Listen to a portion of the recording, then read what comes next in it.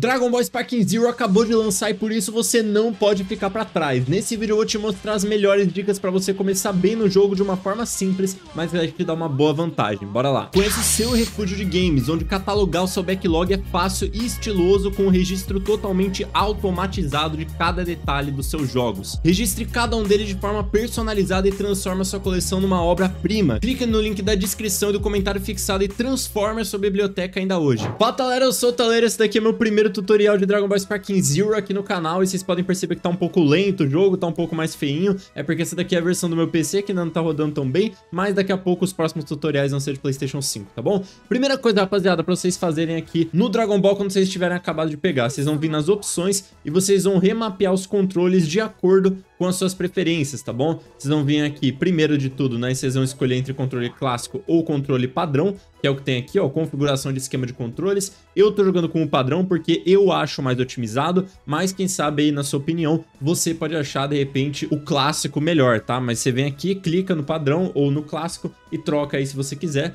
E depois dá pra você mexer aqui na sensibilidade de tudo, dá pra você trocar cada um dos botões se você quiser. E isso daqui pode te ajudar demais, porque de repente o jogo veio de uma forma que você não tá se adaptando, de repente ele pede pra você apertar um botão ali que tá difícil de você apertar, isso daqui vai te ajudar demais na sua gameplay, tá bom? Outra coisa que vai ajudar também é o que vem aqui no finalzinho, né, que é a acessibilidade, basicamente para você jogar com assistência ou não dentro das suas partidas, tá? É essa configuração exata que o jogo vai vir e aqui você pode mudar muita coisa de assistência, tá? Eu recomendo deixar como está, mas eu trocaria uma coisa só, que é a assistência de guarda, tá bom? Porque o jogo, ele vai meio que bloquear sozinho pra você, só que isso daí não é uma coisa boa muitas das vezes, porque às vezes você quer dar um dodge perfeito, tem vezes que em vez de bloquear você quer apertar o bolinha, que pode counterar, né, pode dar uma, um contra-ataque ali, então só isso eu trocaria e desativaria aqui a assistência de guarda, tá? Eu só faria isso, acabei de fazer aqui no meu e vou salvar, tá bom? Tirando isso daqui,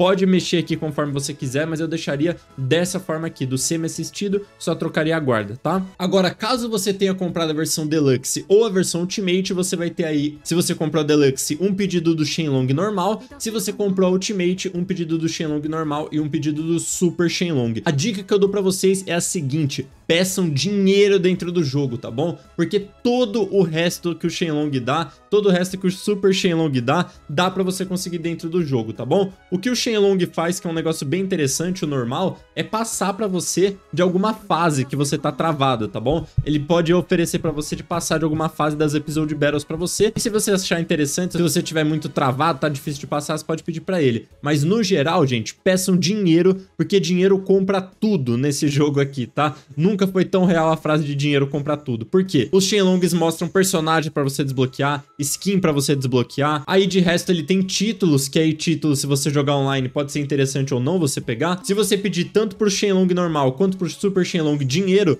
logo no início do game você já vai comprar todos os personagens que tem na loja, tá? Indo aqui na parte da loja, tanto nos personagens quanto das skins, todas as skins que estão aqui dá pra você conseguir com dinheiro, tá bom? E tem algumas skins que estão aqui que custam mais. Por exemplo, essa skin de 300 mil todas as skins que forem de 300 mil são skins que o Shenlong vai te dar através dos seus pedidos. E são as mesmas skins, tanto do Shenlong normal quanto do Super Shenlong. Já que elas custam dinheiro, eu não recomendo você pedir elas pro Shenlong. Pede dinheiro que eles vão te dar mais dinheiro e aí você pode comprar o que você quiser, tá bom? Boa parte dos personagens que estão aqui você consegue desbloquear fazendo torneio, fazendo modo história, fazendo um monte de coisa assim, mas se você quiser desbloquear rápido, pede dinheiro pro Shenlong e já sai comprando aqui vários desses personagens. Tem muita gente que tá me perguntando também como o que desbloqueiam mais personagens aqui na loja é simplesmente você aumentando o seu nível dentro do jogo, tá? Conforme você vai fazendo modo história, conforme você vai fazendo torneios, você vai pegando o nível do seu perfil maior, o nível máximo é 20, e a cada nível que você passa vai aparecer uma notificaçãozinha falando que você desbloqueou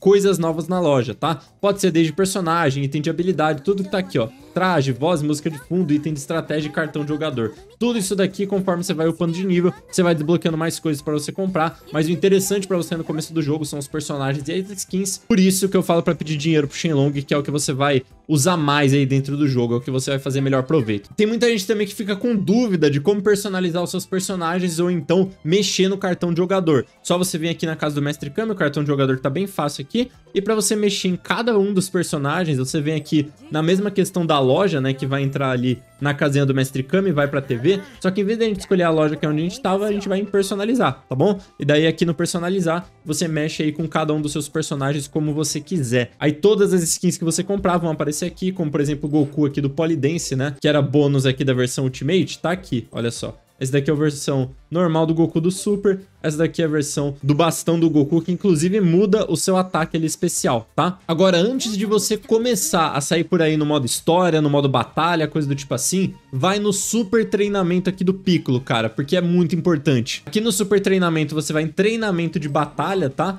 Porque ele vai te mostrar muita coisa importante dentro do jogo. Apesar do Sparking Zero ser todo ali o raio-x da série Budokai Tenkaichi, eles mudaram muita coisa em relação às batalhas, tá? Então o que eu recomendo você treinar aqui com o Piccolo? Você vem aqui em selecionar tipo de treinamento, aperta quadrado, e daí, cara, você faz esses daqui do iniciante, intermediário, avançado, e em cada um desses três, os tipos de treinamento que eu recomendo são os treinamentos de contra-ataque, treinamentos de defesa e treinamentos de combo, tá? O de combo eu recomendo um pouquinho menos porque o combo você vai pegando ali ao longo da batalha de uma forma mais fácil. Mas principalmente aqui no iniciante, o de contra-atacar, no intermediário, o de recuperações, né, que é para você quando é jogado para longe, voltar para a batalha, e aqui no avançado, os de contra-ataque avançado é o que eu recomendo demais. Você fazendo isso daqui no treinamento vai adiantar muito a sua vida, porque eu comecei o jogo sem fazer o treinamento e lá no modo história tinha vezes que eu só ficava apanhando e as outras vezes era só o personagem inimigo que tava batendo, tá? Então vai no Piccolo antes de você começar aí a se aventurar, principalmente se você nunca jogou Budokai Tenkaichi, tá? E mesmo pra quem jogou, também vale a pena você vir aqui no Piccolo, porque vai fazer muita diferença na sua gameplay, tá bom? Continuando aqui o vídeo, eu sei que tem muita gente que não gosta de fazer o modo história, tem muita gente que gosta só de PVP, de coisa do tipo assim, mas o modo história aqui é muito importante você fazer. Por quê? Primeiro, se você é fã do modo história, você tem que fazer pelo menos o modo história do Goku até a saga Saiyajin pra você desbloquear os outros aqui que tem, tá? Eu só não desbloqueei o Jiren aqui, por exemplo, porque eu acredito que pra desbloquear o Jiren você precisa zerar a história do Goku pra você desbloquear a história do Jiren, tá? Mas só de eu ter feito a história do Goku até a saga Saiyajin, eu consegui desbloquear o modo história de mais seis personagens, só ficou faltando o Jiren, isso daí pro modo história é bem legal. Mas mesmo pra você que não gosta do modo história, esse é um dos modos mais fáceis de você ganhar Zeni, que é a moeda do jogo, tá? É uma das formas mais fáceis de você farmar dinheiro dentro do game, dá muito dinheiro. Tem batalhas que são mais difíceis sim, mas tem batalhas que são mais fáceis também. Então você pode ficar ganhando bastante dinheiro e eu já vou trazer um farm de dinheiro que mostra alguns exploits pra você fazer aqui, né? Algumas dicas ainda melhores, mais focadas em dinheiro dentro do game, tá? Já liga as notificações aqui pra você não perder as próximas dicas. Então o modo história é importante por isso, né? Fazer a história do Goku até a saga Saiyajin vai desbloquear quase todos os outros modos história. Fora que o modo história também tá com vários what ifs insanos que eu não esperava que fosse tão profundo assim, então vale a pena mesmo. E a última dica que eu tenho aqui pra vocês é que a cada saga que você termine do modo história, você vem aqui no Zeno e também no Whis e você passe o rodo aqui em todas as missões que eles têm. Porque é muito comum, depois de você terminar uma parte da história, depois de você fazer um torneio dentro do jogo também, pra torneio também vale, não é só modo história, mas você completar várias das missões do Zeno ou do Whis. Tem várias missões dele aqui que são muito fáceis, que é de você jogar com o personagem uma vez só, ó, use o Goku em batalha 50 vezes aqui embaixo, então pode ser qualquer Goku também, Vegeta mesma coisa, e tem várias missões do Zeno que dão dinheiro, que é muito legal, mas a maioria aqui dá cosmético pra você usar no modo online, então se você for um cara do modo online vai ser bem da hora. E o Whis no começo é super vantajoso porque as primeiras missões dele são bem basiquinhas, é basicamente você explorar cada modo ali dentro do jogo, né, de você fazer uma coisinha em cada modo, e ele pode te dar sete esferas do dragão do Shenlong pra você fazer outro pedido, pedir mais dinheiro pra comprar mais coisas no jogo. Eu sempre falo de dinheiro aqui dentro do jogo, gente, porque ele pode comprar qualquer coisa, então mesmo que você não queira desbloquear personagem, se você tá focando online, compra item do online, etc, tá? Mas basicamente a cadeia que tem aqui dentro do jogo é você subir de nível pra você desbloquear mais coisa dentro da loja e você farmar dinheiro pra você comprar essas coisas da loja aí que você desbloqueia, tá bom? Vendo aqui também, o Wiz dá bastante dinheiro que dá pra você pegar aqui